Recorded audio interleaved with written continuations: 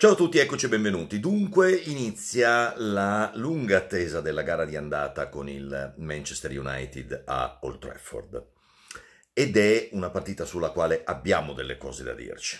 Mm, qui non si tratta di fare gli scaramantici o di mettere le mani avanti, ma eh, volevo semplicemente ricordarvi che il Manchester United in questa stagione in Champions League in casa ne ha date 5 all'Ipsia, ne ha date 4 ai turchi del Basakshehir, e nell'unica gara importante che ha disputato fino a questo momento, all'andata ne ha date 4 alla Real Sociedad sul suo campo. È vero che causa PSG sono stati eliminati dalla Champions League, ma sono stati eliminati nel momento peggiore della loro stagione, ora sono nel momento migliore della loro stagione. Noi stiamo crescendo, stiamo facendo una bellissima stagione, abbiamo 20 punti in più in campionato dell'anno scorso, ma non so francamente se siamo già pronti per eh, fare un testa a testa vero con il Manchester United. Um, e mh, mm, arrivo a dirvi che se fosse come sto provando a dirvi, ripeto, non per essere scaramantici o per mettere le mani avanti, non sarebbe la fine del mondo, perché noi siamo con questo campionato all'inizio di un percorso e mh, mm, non abbiamo mm, l'ansia, la fregola, l'assillo di eh, sapendo quanto tempo ci vuole per fare un passo in avanti nel calcio di oggi, di essere già al top domani mattina.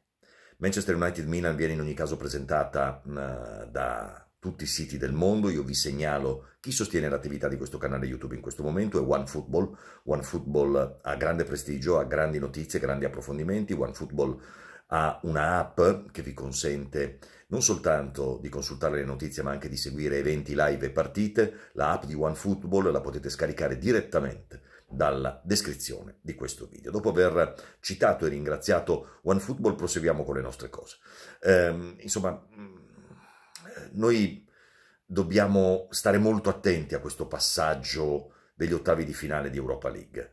Uh, dobbiamo essere pronti a giocarci tutto fino in fondo, ma dobbiamo essere pronti a non fare drammi a non avere contraccolpi poi sulla stagione di campionato che è il nostro patrimonio, che è il nostro tesoro stagionale, eh, dopo eh, il doppio confronto con questi che sono veramente giants, sono veramente ehm, un club inglese al top in questo momento. Il Liverpool fa fatica, Uh, l'Arsenal e il Tottenham non stanno vivendo la miglior stagione della loro vita, il Manchester United ha appena vinto il, il Manchester Derby con il City che aveva vinto le ultime 21 partite consecutive. Io capisco che tutte le partite partono da 0-0 e che il tifoso del Milan per natura, per DNA, vuole giocarsela, vuole essere competitivo, vuole essere al top.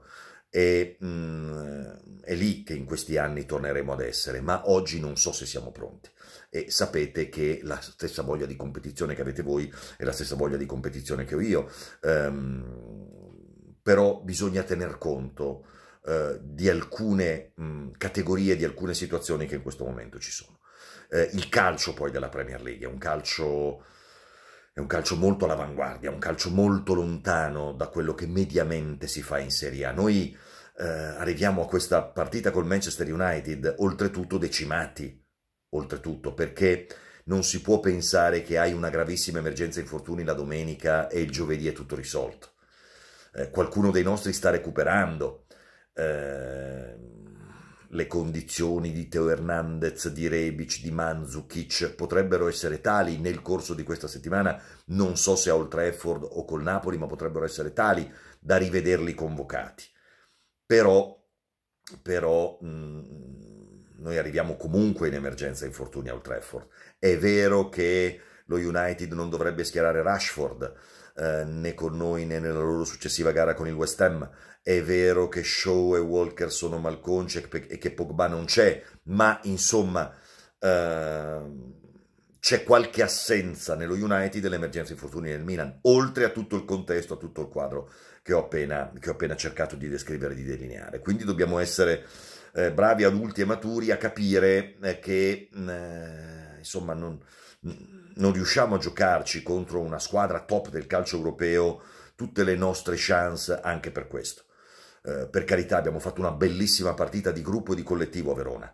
Non so se la partita di Verona replicata all'Old Trafford possa produrre gli stessi risultati. Questo è giusto che ce lo diciamo. eh, io cerco di fare il cronista e voi eh, che, che, siete tifosi cercate di prendere atto mh, della sostanza di quello che sto dicendo, che non è eh, mettere le mani avanti, ma prendere atto di una, eh, prendere atto di una situazione, di una situazione che eh, è quella che obiettivamente ci accompagna alla nostra prossima partita di mh, Europa League. Uh, poi noi avremo il Napoli, il ciclo è molto duro, Manchester, Napoli, Manchester, Fiorentina in emergenza infortuni è il ciclo più duro della stagione e quindi dobbiamo eh, capire che lo affrontiamo con un certo tipo di forze. Noi con la formazione titolare quest'anno abbiamo vinto il derby all'andata, abbiamo vinto a Napoli, abbiamo vinto a Roma. Eh, quindi siamo assolutamente competitivi in Italia.